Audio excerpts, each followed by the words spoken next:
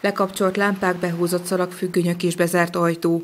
Ez fogadja azt, aki Egerben a Jobbik székházatájára téved. Az üresen álló irodában gyakorlatilag egy éve nem folyik érdemi munka. Jóformán senki nem jár be a 107 négyzetméteres bérleménybe, amiért a párt az adófizetők pénzén havi 270 ezer forintot fizet.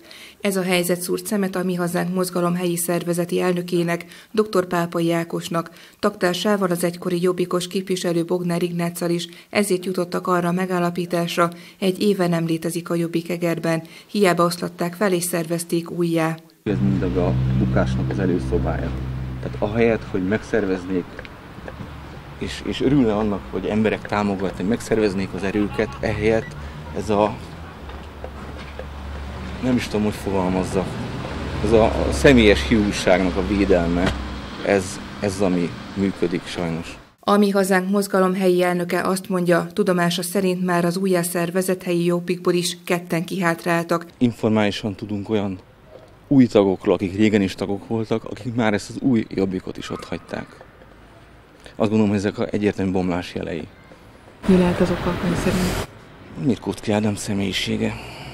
Hozzátette azt is, hogy Mirkóczki Ádám körül erősen fogy a levegő, ezért keresheti Gyurcsány Ferenc szimpátiáját. Kívülről nem tudták hajónkat elsőjeszteni, ezért olyan búvárkondok ültek fel a jobbik hajóára, hogy belülről furták. Bognár Ignác utalt arra, hogy valójában aki most lép be a jobbikba, az már csak kényszerből teszi. Szinte már az lép be most jobbikba, aki talán onnan valamilyen függőségbe került, vagy nem is tudom, zsarol, de nem hiszem, mert nincsenek olyan helyzetben, hogy zsarolhatnának, mert ezt szokott lenni, ugye, vagy megvesznek, vagy, vagy megzsarolnak. Hát a jobbik most egyelőre szerintem ott van, hogy lélegeztetőgépre kerítették. Itt Egerben lehet, hogy a ország más részében enni sokkal tisztességesebb vezetőjük vannak. Itt sajnos olyan kézbe került, aki elárult bennünket, és el fogja árulni a mostani pártársait is. Bognár Ignác egykori jobbik elnök úgy véli totális a leszámolás azokkal, akik még a régi jobbikhoz tartoztak.